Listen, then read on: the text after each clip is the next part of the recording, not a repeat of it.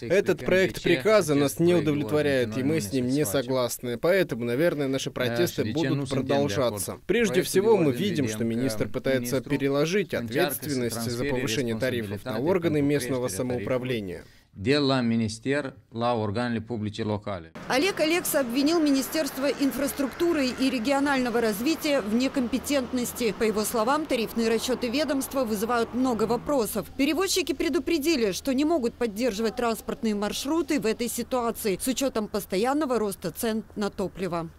Ministerul nostru aproape jumătate de an mozolește cifrele astea. Наше министерство уже почти полгода подсчитывает эти цифры. Сначала дает один расчет, потом дает другой расчет. Сейчас вот дает третий, и мы не знаем, что еще они будут делать. Хотя предполагается, что в нашем министерстве есть большинство специалистов по транспорту. А теперь представьте, что в примарии должны быть специалисты по транспорту, или их нужно будет нанять. При этом министр не хочет ничего подписывать. Он хочет быть министром, но не брать на себя ответственность. Însă responsabilitatea de ministru nu vrea să o.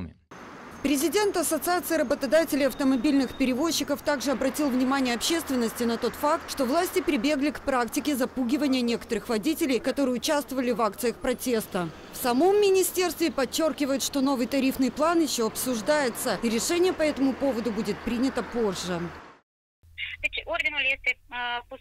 Документ находится в процессе консультаций до 28 января, и в данный момент мы ведем переговоры с перевозчиками и представителями органов местной публичной администрации. Когда у нас будет решение, мы объявим об окончании этих консультаций. Более того, министерство не может допустить необоснованных тарифных злоупотреблений.